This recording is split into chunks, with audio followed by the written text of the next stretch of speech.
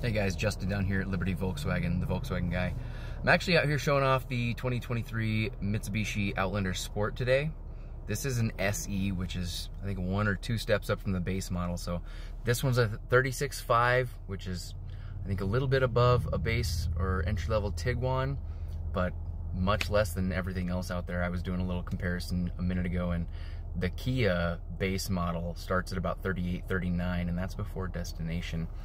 But the main thing I wanted to show was I don't know too many small SUVs with third row options that actually have the uh, 360 camera and navigation with Sirius XM Travel Link as standard. Got the 360 camera with dynamic lines on all the Mitsubishis.